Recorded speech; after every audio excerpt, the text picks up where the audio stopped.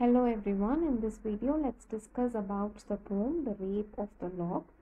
The Rape of the Lock is written by Alexander Pope.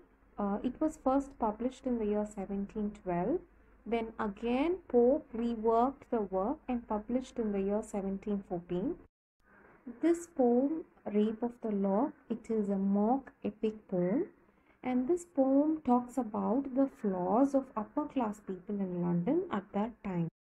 This poem has a story and it revolves around few main characters. Uh, the first character and the central one is Belinda, and the second main character of the poem is the Baron. Before we begin learning the poem, let's see the background story of the poem. Pope writes uh, the poem Rape of the Lock in response to a request made by his friend named John Caryll. John Caryll, he is a prominent Roman Catholic uh, person of that time.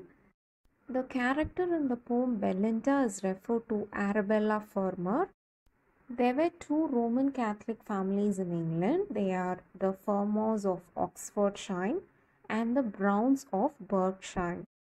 This Arabella Fermor, she was the daughter of a marriage between two Roman Catholic families, which I mentioned earlier. Alexander Pope's friend John Caryll, he is explaining a story to Pope. The story is about Lord Petre, who's the friend of Caryll. Lord Petre had cut off a lock of Arabella Fermor's hair, and from that incident, the families had been engaged in a prolonged and bitter quarrel. In order to subside the situation and the problem, Pope is writing a poem that is the that is this poem, The Rape of the Lock. I have chosen a quote from the poem just for the understanding. This quote is taken from the introductory part written by Alexander Pope. The stealing of Miss Beely Fermor's hair was taken too seriously and caused an estrangement between the two families. Though they had lived so long in great friendship before, a common acquaintance and well wisher to both desired me to write a poem to make a zest of it and laugh them together again. It was with this view that I wrote The Rape of the Lock. Before we begin, let's see who is Arabella Fermor. Arabella Fermor, she is from the upper class and she was the daughter of Henry Fermor. She is known for her beauty because she was the belle of the London society in the early 18th century. When the family comes to know that Lord Petre had cut a lock of hair from Arabella Fermor's head, Henry's family was offended and they were no longer friendly, were in friendly terms with Petre's. And in the poem, we come across Arabella Farmer as Belinda in the name Belinda. Let's see the history of the poem. This poem was first written in 1711 and it was published in the year 1712. This poem went through many stages before becoming the poem as we know it today. The first version was only two cantos long, but with each version, the story became progressively longer. A year later, that is after 1712 and 1713, Pope improved upon his work by polishing the piece as well as adding elements from the supernatural. However, we come across that this version was not published in the year 1714. The poem was published in the year 1717 with a collection of his work, with a collection of Pope's work. At the end, this poem has five cantos and it includes Clarissa's speech too. Clarissa is a friend of Belinda. The interesting part is that when Pope was about to finish the poem, Lord Petre, he died of smallpox and Arabella, she was married. So the continuous quarrel that was mentioned in the poem was no longer relevant. Let's see the characters. Belinda. Belinda, who is a young lady, very beautiful with wondrous hair. She has two logs of hair in front, which hangs gracefully like a fringe's curl. Next main character is the Baron. He is a young admirer of Belinda. He is the one who plans to cut off one of her locks. Next is Ariel. Ariel is Belinda's guardian sylph. Sylph is a supernatural creature. Next character is Clarissa. Clarissa is a jealous friend of Belinda and she's a young lady. She's the one who gives scissors to Baron to cut off Belinda's hair. The other characters like Umbriel, Queen of Spleen, Thalestris, Sir Plume, these characters are not much important, but then let me tell you who they are. Umbriel, Umbriel is the spurt who enters the cave of the Queen of Spleen to seek help for Belinda. Spurt is a fairy creature. Next is Queen of Spleen. Queen of Spleen is an underworld goddess who gives Umbriel gifts for Belinda. Thalestris, Thalestris is the friend of Belinda and Thalestris he urges Sir Plume to defend Belinda's honor. Sir Plume, he is a male admirer of Thalestris. Uh, Sir Plume will only scold the Baron for cutting Belinda's hair. Let me analyze the main characters here. Belinda, she belongs to upper class and who's always seen as the center of attention. The English society puts her on a high pedestal and it always gives her praise whenever possible. The Baron, who is the representation of Lord Petre, Lord Petre, he will explain the situation to John Caryll. John Caryll is a friend of uh, Alexander Pope so, upon request only, Alexander Pope is writing this poem just to seek unity between the two families. Let's move to the summary of the poem.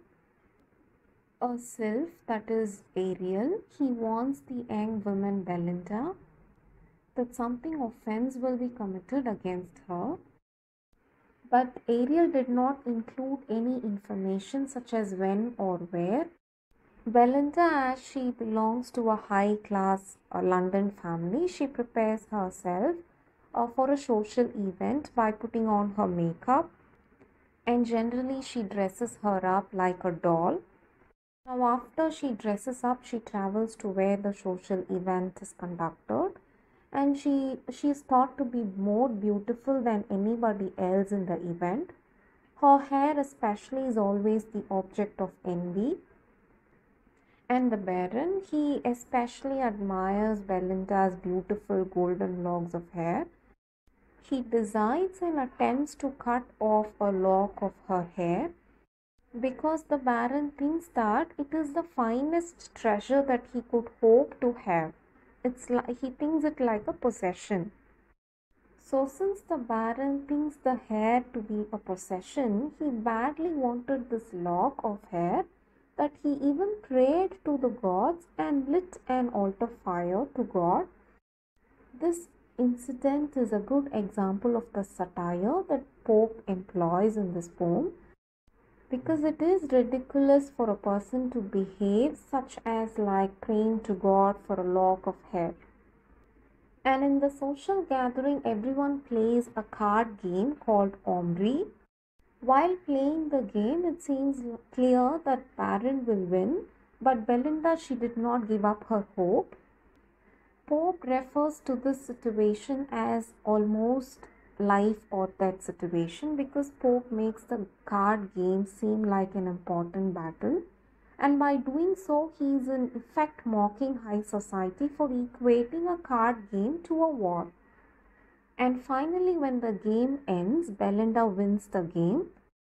Clarissa appears here. Clarissa, who's a friend of Belinda. She fetches a pair of scissors for the Baron to cut Belinda's hair. And the Baron, he cuts a lock from Belinda's hair. By this, Belinda becomes angry. A fairy creature, Umbriel, appears. He travels down to the underworld to get Belinda a bag of shies and a wheel of tears.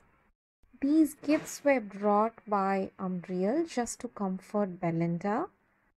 Knowing that Belinda is worried for losing her lock of hair, Clarissa she, she tries to calm Belinda, but that doesn't work. And Belinda she throws a handful of snuff at the Baron. Snuff is a tobacco which people breathe up into the nose in the form of a powder. And at the end of the battle, we see that the lock of the hair is nowhere to be found. Let's see the themes employed by Pope in this poem. Pope mocks at the upper class of London. Pope uses the upper class for the basis of his poem. They are mocked in this poem because Pope believes that the upper class of London they do not care about serious matters and they have narrow minded ideas about the world in which they live and they do not possess the ability to look beyond trivialities. The meaning of triviality is lack of seriousness and lack of importance. So, in this poem, the chaos that's happening uh, when Belinda's lock is stolen, it serves just as a poke fun at the upper class. The readers of the poem can just analyze that how ridiculous it is that uh, they get to upset at the theft of a piece of hair. Pope also exaggerates the situation so much because uh, the upper class readers will at least recognize or realize the mockery and feel embarrassed that they should act in such a manner.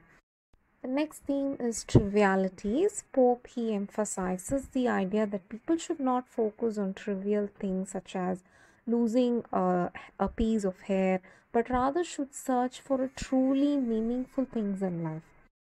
He also says that being able to laugh at oneself and a life living for a reason, a life living once in a while, is a key ingredient in having a successful life. Since the upper class society in London did not prioritize what is important, writers like Pope in 18th century they started to write using Greek and Roman mythology for uh, giving a dramatic effect. Hope this video helped you to learn about the rape of the lock. See you in the next video. Until then, take care.